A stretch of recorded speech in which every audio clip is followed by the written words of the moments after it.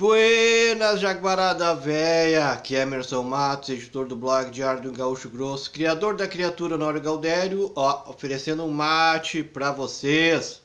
E aí, já tomaram o banho de açude de hoje de manhã já? Ainda não, ainda dá tempo, ó. Eu tô meio úmido ainda a roupa, ó. Não deu tempo de esfriar, porque agora, de secar, porque agora está começando um ventinho. E menos 7 graus a gente não se não se entrega para um banho de açude, é ou não é? A neve, a neve, a neve. Cadê os mimimi lá, né? No, aqui no Facebook, no YouTube. E a neve que tu tá falando que não vem, que não vem. Eu tô dizendo, calma. A neve é hoje. Hoje à noite. Conforme os mapas meteorológicos do sistema canadense, que é o melhor. Gente, existem três uh, sistemas que se utilizam para formatizar, vamos dizer assim, a previsão do tempo. O canadense, o americano e o alemão, tá? São três, são três, não é uma empresa só. São várias.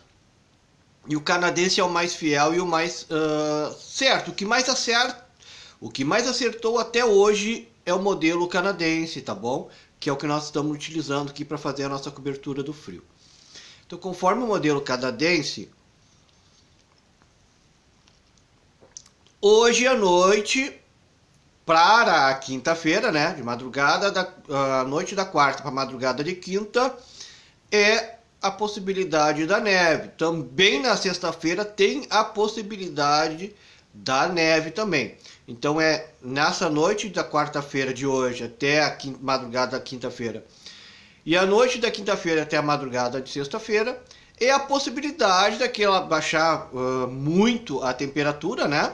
Entre menos 15, menos 20. Menos... Eu ainda acredito que vai dar em menos 10. Mas como são muitas ondas polares que estão vindo, que eu estava vendo no mapa, gente, para quem não está entendendo nada, no inverno no Rio Grande do Sul vem uma onda polar, tá quente, que nem tava 30 graus, né? Vem uma onda polar, vem, esfria e chega a menos 2, menos 3 graus. Depois ela vai embora e volta a estabilizar ali entre 5 graus, 6 graus normalmente. O frio no Rio Grande do Sul é assim aqui. O problema é que são várias ondas. Você se lembra que estava 30 graus esses dias que eu fiz o vídeo? Pois então, estava 30 graus, veio uma onda polar, baixou para até menos 7 graus, olha aí hoje.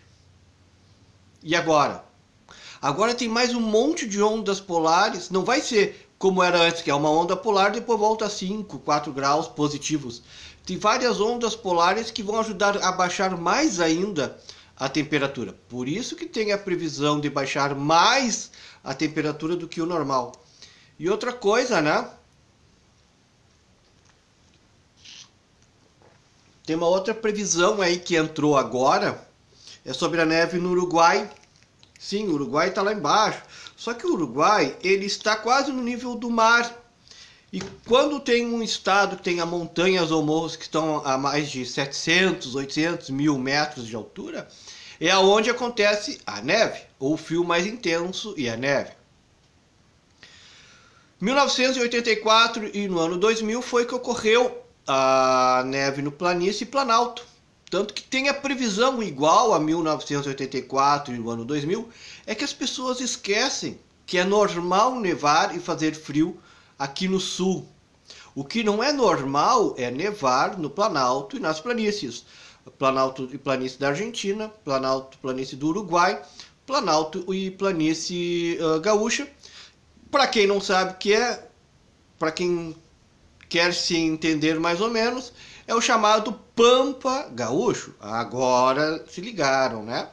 Pois então, as últimas duas nevascas que tiveram nessa época foi em 1984 e ano 2000, que teve as mesmas várias ondas polares igual a desta vez. Só que dessa vez tem mais ondas polares, são várias a mais do que em 84 e o ano 2000. Por isso que a expectativa de neve é maior em cima da serra e também no, no Pampa Gaúcho, Uruguai e Argentina, né? E por isso que a expectativa de frio é maior ainda do que os outros tempos. É essa que é a explicação científica que as pessoas não estão dando. Se tu veres o modelo americano e o alemão, vai dar outra coisa. Só que no conjunto da obra, até hoje, o modelo canadense é o que mais acertou todas as previsões. Fizeram previsão tal e depois deu certo. E os outros modelos não. Aqui para o estado do Rio Grande do Sul, entendeu?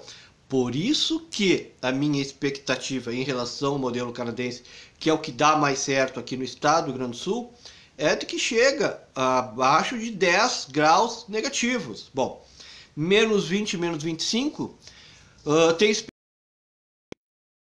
expectativa, né? E com umidade e pouca chuva, se transforma em neve. Tendo vento, o vento está fraco, a tendência é de ter um pouco mais de vento. Só que aí tem dois problemas. O vento pode eliminar a neve, né? Porque neve com vento forte, vento fraco ela tem. E o problema é que se não tiver neve, mas tiver bastante vento, aí, meus amiguinhos, essa madrugada faz os menos 20 graus de sensação. Sim, com certeza absoluta. Nós estamos com menos 7 agora. Estamos com menos 7 agora se, uh, com a entrada da primeira massa polar e sem vento. Menos 7 graus agora, com a entrada da primeira massa polar e sem vento. Agora bota aquela a partir dessa madrugada agora de hoje, de quarta para quinta. E depois de quinta para sexta já vão estar todas as massas polares, o vento, umidade alta, porque tem probabilidade de chuva, né? E se a chuva vem, neve. Aí junta tudo isso daí, meus amiguinhos, se já estamos com menos 7 com uma massa de ar polar, imagina o resultado que vai ser depois. Não vai dar para tomar banho de açude. Vamos ter que pular o banho do açude. Então, continuando a nossa cobertura do frio no Rio Grande do Sul, vai cair neve até no Uruguai, que há anos que cai, e no Pampa Gaúcho, que há muitos anos não cai. Isto é sinal de excesso de frio. Se neve, vai nevar. Se a neve vai cair. Ele é quase que muitos anos não cai. Sendo que os últimos dois anos, 1984 e 2000, vai desabar neve. Imagina como é que vai ser nos campos de cima da serra e na Serra Catarinense, aonde qualquer friozinho que dá, cai neve. Continue seguindo aí, não esquece de inscrever, acionar o sino de notificações. Canal do Honório Galdério no YouTube, com vídeos espetaculares. Dá uma olhadinha ali no, na, no vídeo dos tambores pegando fogo, para quebrar a geada, que é espetacular.